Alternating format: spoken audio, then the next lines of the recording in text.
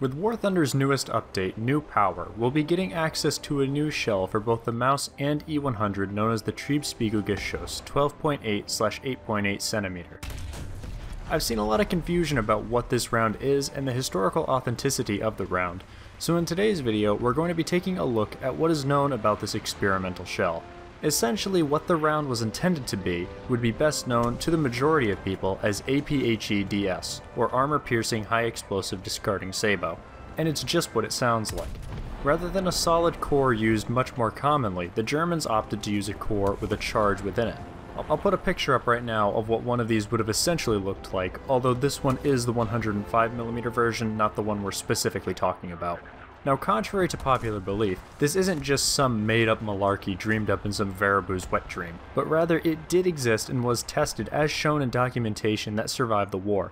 Now I will admit that some of the information I found is contradictory, but they all point towards the shell's existence. The main source I've seen, and many of you may already be familiar with, is the section taken from Panzer Tracks, showing that a contract was given to Krupp for this ammo specifically for the Maus, but as I'm not one for believing just one snippet, I did some digging to find some more information on this elusive round. So I dug into my Kampfpanzer Maus book, by Michael Fröhlich to see if there was any mention of it in there.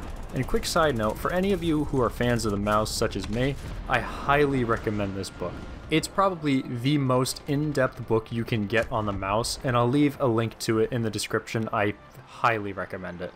But sure enough, I was able to find mention of it inside of that book. This is where the contradictions I mentioned earlier come in though. This book names the shells as having either a 75 or 65 millimeter core. This is possibly a fault on the author's part, however, but it still does point to the existence of such a round. The final bit of evidence I was able to track down during my research for this video was the test sheet detailing different firing tests, which also lists the 12.8/8.8 shell and gives the results of its penetration tests.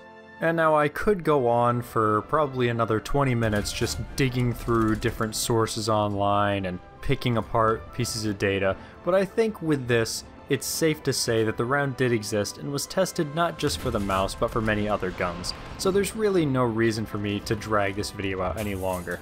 From what I can tell, this experimental round was mainly designed to help increase the range of shells, since the Germans were already far ahead of the Allies in terms of penetration, and didn't really need these shells to be able to knock out tanks they faced, especially with tanks with the 128mm such as the Maus or the Jagdtiger. But in the end it seems to have had some major issues that it suffered from which held it back from further production. As for how this round will perform in-game, I'm not going to be quick to draw conclusions. The increase in penetration could potentially help against armored targets, but whether or not it will suffer similar issues to the 17 pounder with very horrible accuracy on its sabot remains to be seen.